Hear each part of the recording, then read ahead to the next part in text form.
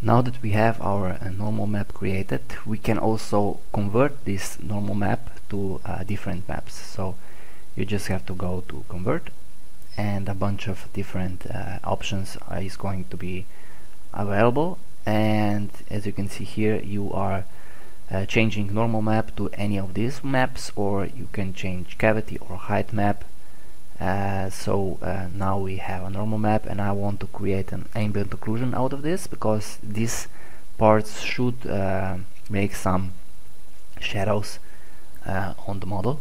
So I just select normal and the map is not tileable so I untick this 16-bit uh, is okay and I just click on active dock and it's going to create a new file with an ambient occlusion and you can also make some changes to the medium fine and large shadows. So now just uh, file save as and save it again as uh, TGA uh, let's save it as Battlestick AO and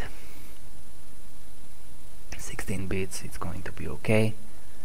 And now what I normally do just close this down I don't need it.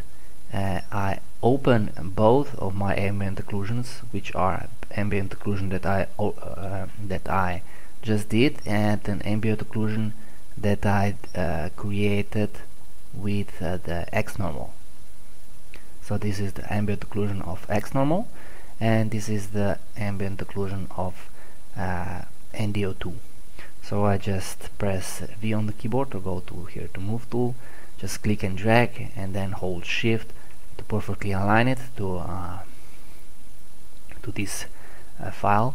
And I just change this to multiply and maybe decrease some of the opacity. And now I have both ambient occlusions uh, in one file. So I just uh, save it for web or normal save and just uh, name it something like Battlestick AO final. So you know you have uh, all the ambient occlusions in one file